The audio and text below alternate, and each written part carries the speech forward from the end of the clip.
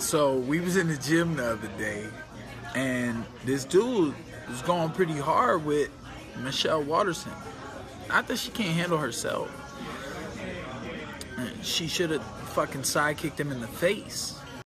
But when their round was over, I said, hey, Diego Sanchez, this dude's being a fucking asshole sparring partner, bro. Oh, Diego said, oh yeah? Okay, okay. Bust this dude's eye real quick, right away. Dude throws a jumping sidekick at Diego's face. Diego takes him down, humps his back, tries to grab his neck, armbars the shit out of him. Dude gets up, he's talking shit. Diego, I respect you, bro. Blah blah blah. This, blah blah blah. That. He's talking to Frank, talking to me.